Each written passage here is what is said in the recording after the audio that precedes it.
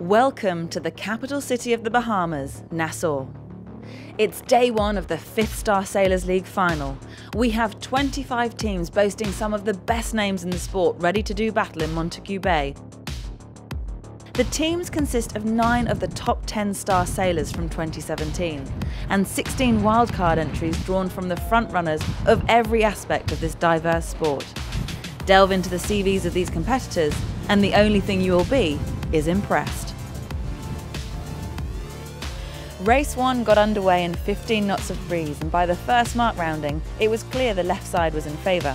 Mendelblatt and Fatih showed their dominance by rounding the first mark and continued the race by looking as good as you would expect the defending champion should be.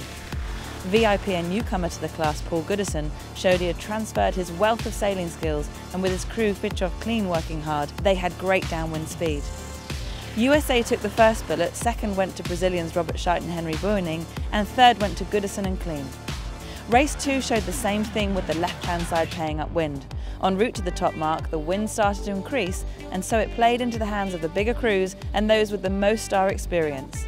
At the end of the third leg, there was a lot of action at the windward mark, which resulted in protests and penalties. Xavier Rohart and crew Pierre-Alexis Ponsot of France took the race win and the Polish team Mateusz Kusznierewicz and Dominik Życki came second. And third went to Scheidt and Boening which saw them take the overall lead of the end of day one. Second overall is the Polish team and third is the defending champions from the USA. Taking fourth place and the best of the VIPs, Goodison and Kleen. Oh, It was a fun day on the water. I think uh, we had two good starts.